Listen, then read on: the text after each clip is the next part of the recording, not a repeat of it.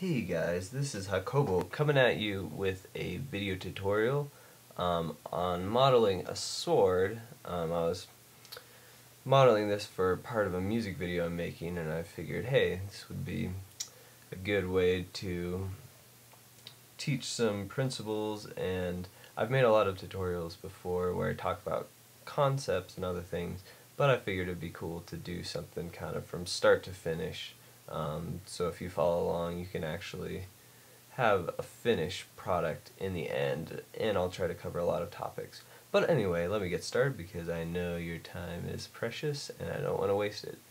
Anyways, so I've got my main view set up, and I want to import some reference footage. I just grabbed an image off Google. Um, it's not my sword's not going to be exactly like this, but I'll just get sort of the general shape and look of it. So let me, let me go to image plane and import image. Let's see. I mean, it's just that.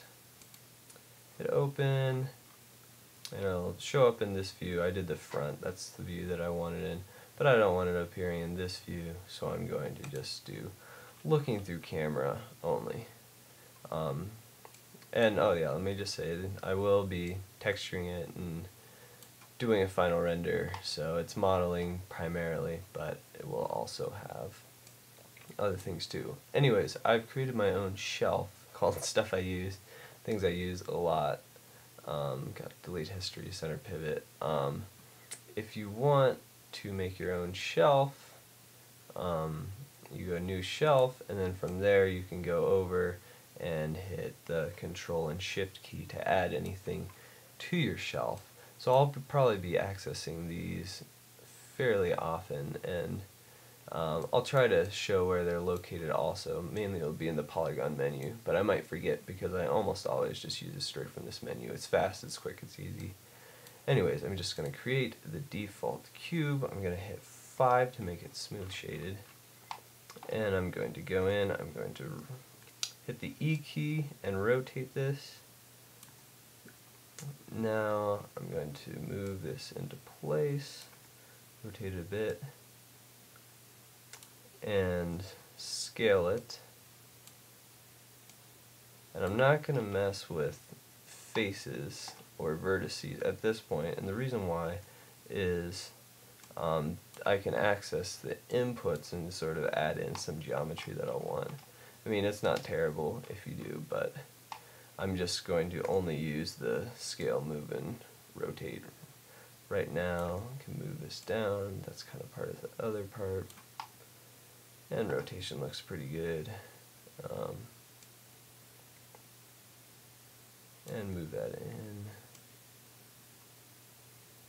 Okay, now I can see there's going to be kind of a groove right here. Let me scale this down a bit, that's a little large kind of a groove right here, right in the middle. Um, and you can see I'm in wireframe just for getting the setup so I can see completely through it. I think I'm going to switch um, from my shading to x-ray and this is sort of a combination of the two. You can kind of, uh, it's um, somewhat see-through um, but you can also, also can see where it's at. Anyways, so now since I haven't messed with vertices, faces, any of that, it'll freak out if you do. I can go over to this right one over here, go to inputs menu, and let me see, I probably just want, um, trying to think, so you click on this and then um, you middle mouse, go over here and middle mouse button. Um, so I'm trying to think where I want. Probably want two in the depth, maybe th actually th three. You can also just type this in, and I'll want three of those. Alright, now I'm going to start editing that. So I'm going to go to Edge, and move this into where the div will be. I'm double clicking so I select the entire edge. I'm going to go back out to this view and now I've got that on both the sides. I'm going to right click and hit face, select this, and select this. Now I'm going to go over to the extrude um, yeah, mesh, edit mesh, extrude. You have your options here. Um, and if you're extruding along a curve or something, or even out a bit, you can set this up. But often you want it set to just one extrusion. I'm going to start moving it in. I'm actually, I don't have a side thing, I'm just guesstimating for this, but I'm trying to think how thick a sword would be. I'm going to move this in a bit because that would affect how far it's going in. That looks pretty good right there. Anyways, right click, face, and face. Then I'll hit the extrude. I'm just gonna, you want to do the blue one if I, and if I move it in, um, so I kind of want a sort of a circular curve. So I'm gonna zoom in here, hitting the space key to go just to this view, moving it in, um, G again, and a little bit more,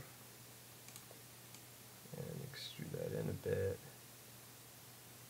G to repeat the command. Um, let me see. And just starting to bring that in. Now I often, what's really nice you for undos, it undoes selections too. So I often go out, kind of look at that. That looks pretty good. I might want to do one more, so I can do undo, undo, and now I have the whole thing selected.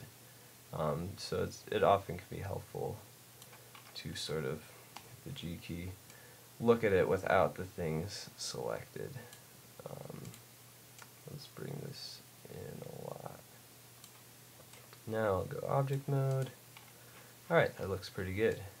And it's identical on both sides since I was extruding in even though they're opposite.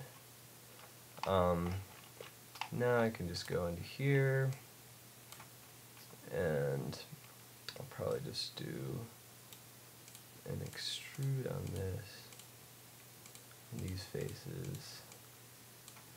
Um, it might have been wise before I added the geometry to extrude these in because sometimes you can run into trouble. Let me just see how this is.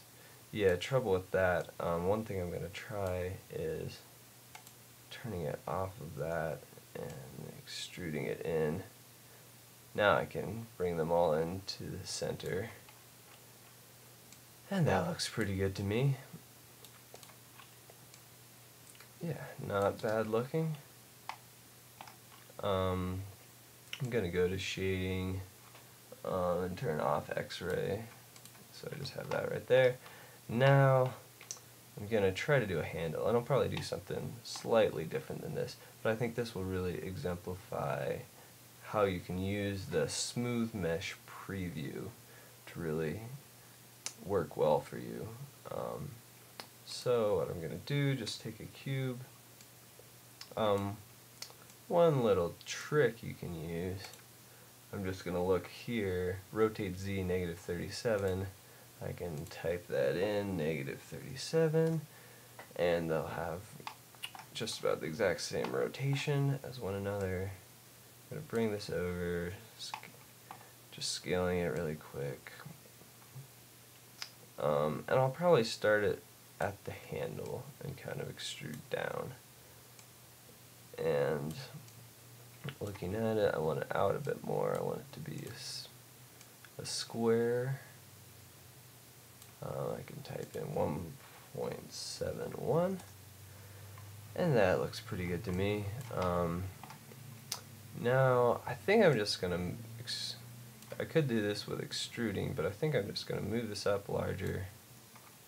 Um, I can, um, you generally want to use these three unless you're directly in a move, because I know I'm just moving in these two directions. If I'm clicking on the middle and moving it around here, they, you can get really lost. Um, like it looks, maybe that looks over top of it, but it's not at all. So the only time I really use the middle is when I'm in these views, I'm going to switch to wireframe and go over to my um, split edge ring tool. Uh, let me see. Um, insert edge loop tool is also called. Um, click on that